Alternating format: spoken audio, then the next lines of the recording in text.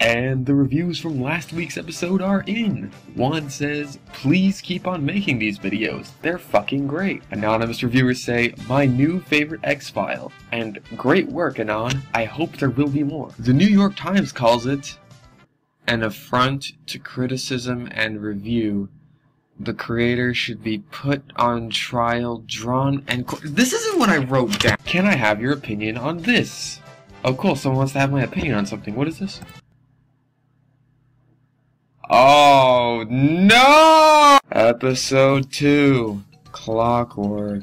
Clockwork Your Time Is Up is something I can barely qualify as a creepypasta. It's just so fucking stupid in every aspect that it's almost impossible to think of that the writer was completely serious when they wrote it. That is not some kind of bad joke. But with all the other terrible pastas you see on the deletion log refugee page of the Troll Pasta Wiki, you understand that Clockwork really is being completely serious. The story isn't exactly popular, certainly not at the level of something like Jeff the Killer or Squidward Suicide in fact, it's almost universally hated, and I'm in the group that, that doesn't like it. I don't like this story, not one bit. If you've seen my Jeff the Killer video, you know that I brought it up in that, among other pastas grouped together in a genre that I call villainous character promoting slasher fanfiction. But Clockwork stands out in its shittiness above even something like Laughing Jack or Jane the Killer, and in some aspects, even, you know, Jeff the Killer, the one that started it all which is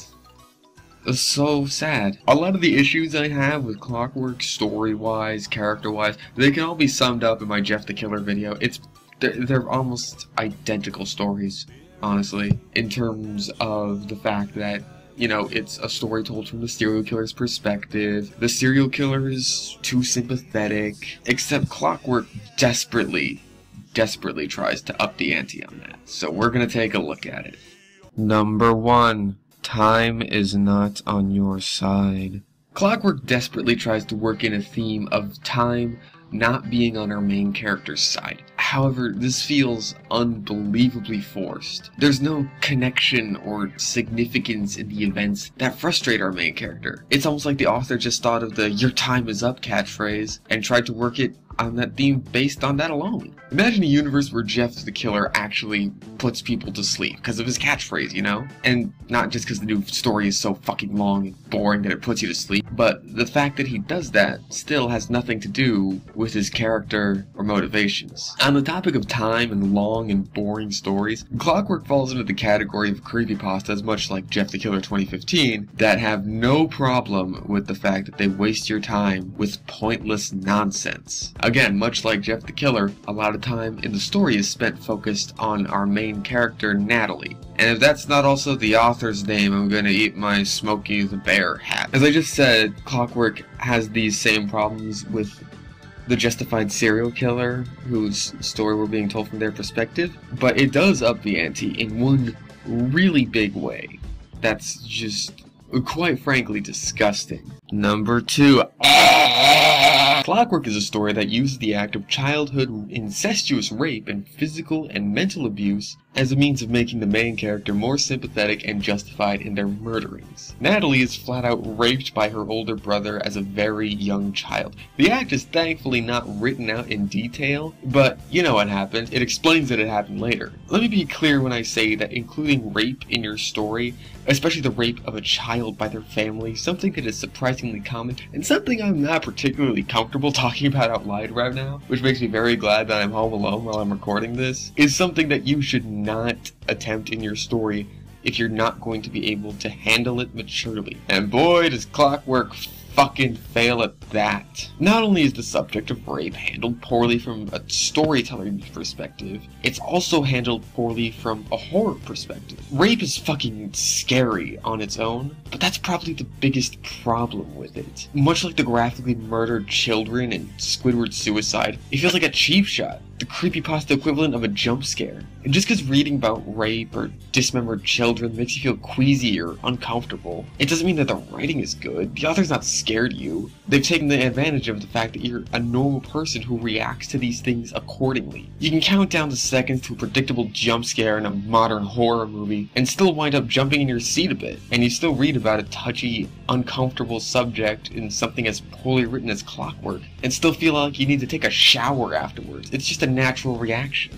Number 3. The characters. Unlike Jeff, Natalie is seen from the very start as a child who casually enjoys drawing blood and gore, something that appropriately scares her parents and teachers and friends. This is still a problem because by this point we've established that Natalie has been beaten by her father since a very young age. So we understand her intentions and she is, much like Jeff the Killer, not mysterious in the slightest. The story also falls into the same pitfall as Jeff of telling the story with a window into the serial killer's mind. I'm gonna get into some writing 101 here. You typically want to tell the story from the perspective of a regular schlub who isn't too familiar with all the weird goings on of the story world. That way, when something is explained to this character, it's explained to us in an organic way, and things about other characters we aren't following are revealed at a natural pace. In a better written story, this would be told from the perspective of a friend or relative, someone who's slowly learning more about Natalie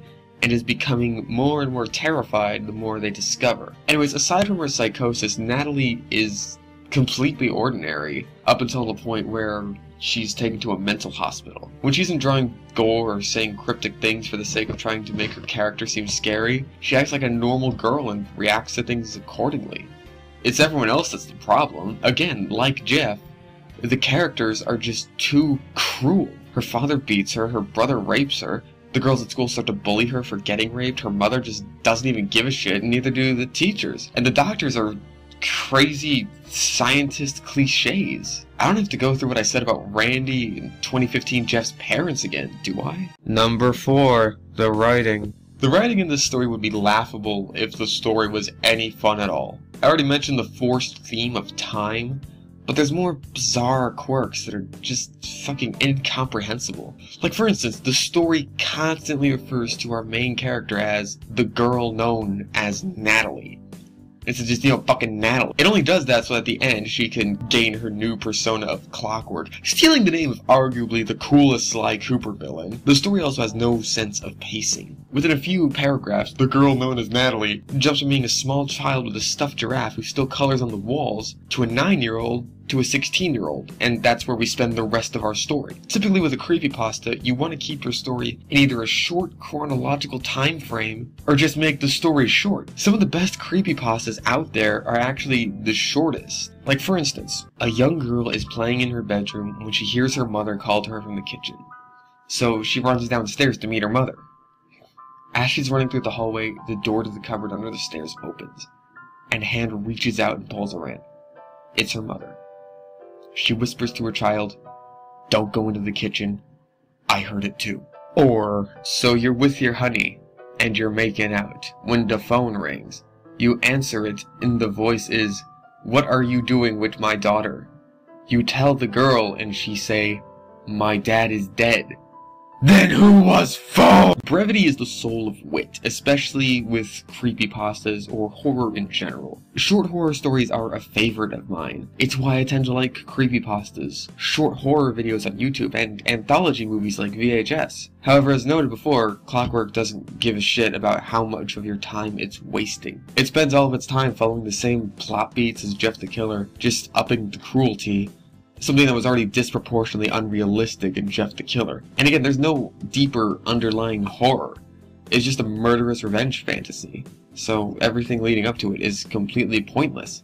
Unless you think justifying your killer is a good idea. Number 5. What can laughingly be called the story? Clockwork starts off with a terrified young girl being brutally beaten by her father for coloring on the walls, and scene! Moving on years later, we get to the point where her brother awkwardly asks to rape her, and scene! We then cut to the point where she's a 16 year old girl going about her regular high school life. She's still scared of her cunt dad and has flashbacks of what we can infer are potentially hundreds of other traumatic experiences that have transpired in the seven years we haven't been following her. Upon going to school the next day, we are given information that her mom seems annoyed with her for pretty much no reason. She's being a bitch that we can feel bad for Natalie some more, when the story has already blown its load by having her character be sexually assaulted over a period of four years. Compared to that, a snippy mom and a douchebag teacher don't exactly hold much water. You might think I'm harping on the whole rape thing, but the story hammers the point in a lot harder than I am. It's not like it happens and it's just dropped immediately. It's at this point that we get a hint that the author may not be a native English speaker, explaining the terrible use of the English language. Both Natalie and the teacher's last names are very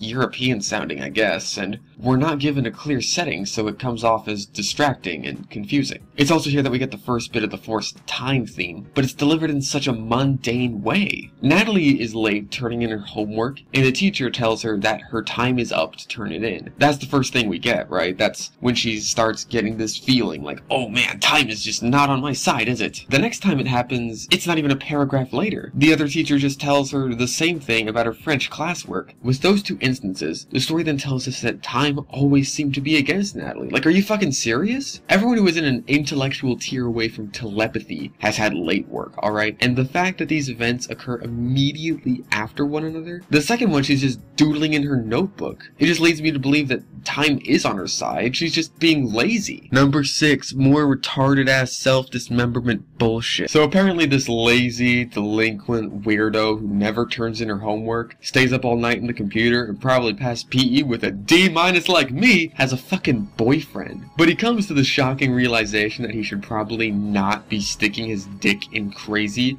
and breaks up with her. He probably just got finished masturbating in the school bathroom and came to this realization after that clearness of mind you get. Don't you hate it when that happens?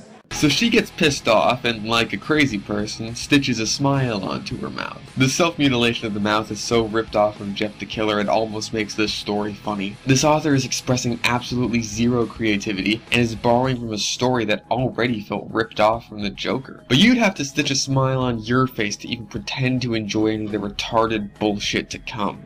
So the girl known as Natalie's mom comes in and sees her daughter going way too far for her Femme Joker cosplay and sends her off to get some much needed therapy. Why this wasn't done before when she was being beaten and raped as a child, I don't know. I don't fucking care anymore. So Natalie bitches to the therapist that time is her problem. Here's the quote from the story explaining her thought process. Time. Time has been my problem. Deborah gave her a confused look. What about time, dear? Natalie's hands roughly gripped the leather of the seat. Everything. It makes you live through it, slowly progressing through life, being controlled by society, what the fuck, only to be tortured, for seemingly to no end, until you find you no longer have a purpose. It's a vicious circle. Time does not end. It does not slow down. It does not speed up. It is violent. It makes you live through the torture over and over again, unable to fast forward away from it. All because this dumb bitch was doodling in class instead of doing her fucking work. You don't get time altering stand powers or an Adam Sandler universe altering remote control just so you can have more time to dick around and draw shitty Jeff the Killer fan art in class. So the girl known as Natalie keeps talking like a crazy person, eventually saying that Natalie's not there anymore. So this therapist understandably freaks out and gets out of the room to get some help for this schizophrenic weirdo. The author attempts some Lemony Snicket style writing here. It doesn't fit in with the tone or the writing style of the rest of the story at all. Like, listen to this. She walked out, leaving Natalie alone. Maybe if she had done something at this point, she wouldn't have come to be what she is today. Maybe more people would be alive, and maybe she would be sane again. As much as I would love to, I would admit that she got up from that chair and stopped this all from happening.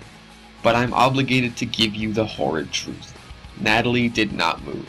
She sat perfectly still, perfectly silent, and perfectly calm in that chair. If this were the style of writing consistent with the rest of the story, I'd write it off as an homage style in a series of unfortunate events. But I can't do that, so it just seems distracting and weird. At least she didn't put a page full of, like, evers, or just three pages full of black. Anyway, her parents show up, and upon being told that their daughter is a crazy person, no doubt due to years of neglect and physical and psychological abuse, they dump her off at some crazy house mental hospital and she wakes up strapped to a bed. Just like in my erotic fan fiction. Number 7. Does that make me? crazy. So a doctor, described in the story as literally looking like a cliche scientist, comes in and says they're gonna be putting Natalie on mental drugs. That is a quote from the story. That's how they describe it. They knock her out with sleeping gas, but she wakes up in the middle of her surgery and is totally aware of what's happening. This is actually something some patients of surgery go through, and it's a legitimately scary prospect, so I'll give the story that much. However, it completely ruins it by having this be some kind of moment of awakening of her superhuman powers. She manages to break free of all her bindings, rips off the masks and IV tubes, and starts laughing like a generic, crazy yandere anime girl. Also, like some kind of cartoon, once this happens, her eyes turn totally green. So if you were playing Mary Sue Bingo while watching this, you can go ahead and cross off unique eye color. It's even explained that they glow in the dark later in the story. She then brutally butchers the doctor in a way that at least has graphic depictions of the murders up on Jeff the Killer, but it goes way too far. It's just so try hard and edgy and pointless. Then the most retarded thing ever happens. Guards come in and pull guns on her after seeing the horribly dismembered doctor, but using the power of her stand, time keeps on slipping, Natalie manages to dodge the bullets in the slowed down time and kills all of them too. Number 8.